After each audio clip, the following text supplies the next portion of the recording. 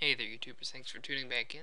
This is Dan Strong with Excel VBA is Fun. I want to talk to you about uh, the questions and answers, the form that I did in the Google Docs.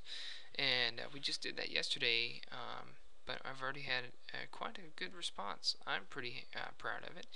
This is the form, Excel VBA is Fun, questions, and then here's the Excel spreadsheet online in my Google shared drive uh, called the responses sheet that was automatically generated if you saw the video.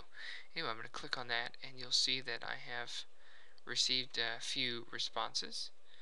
And uh, so what's more important, having more videos versus having me edit the heck out of each video? And it looks like most people said uh, more videos is better, you know, qu quantity over quality. And then um, uh, let's see. User form series, tips and tricks. Looking like the tips and tricks is kind of winning right now. Um, but, uh, you can put your response. I'll share the same link on this video. If you want to fill out that little um, questionnaire, it'll take all of uh, about 20 seconds. Anyway, and then, you know, what you want to see more of or what you may have questions on, you can fill out on that form as well. So since it's three questions, click here, you click here, you type in your comments if you want to.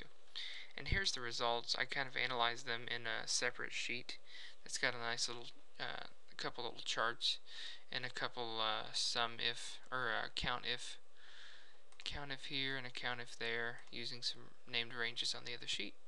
So that basically will update as you as you fill in your uh, fill in that form, the more responses I get, these pie charts will change.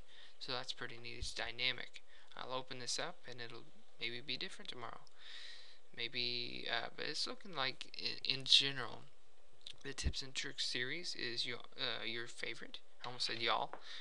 And then uh, the more having more videos come out rather than me, uh, you know, turtling along with uh, a video every once in a while because it takes forever for me to edit them and then render them and then upload them.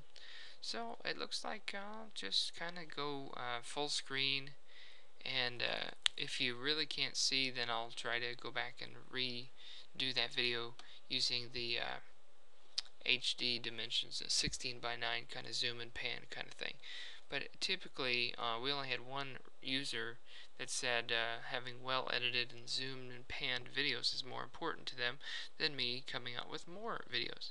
So, yeah, anyway, uh, that's just more stuff you can do with Google Drive. Pretty sweet. Check it out. Get your own account right now.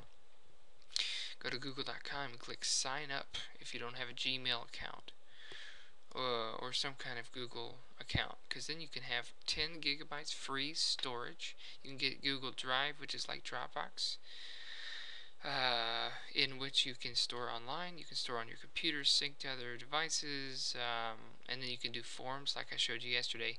I sound like I'm selling this thing, but it's free, so I mean, get it if you want it, whatever. Thanks for watching, guys.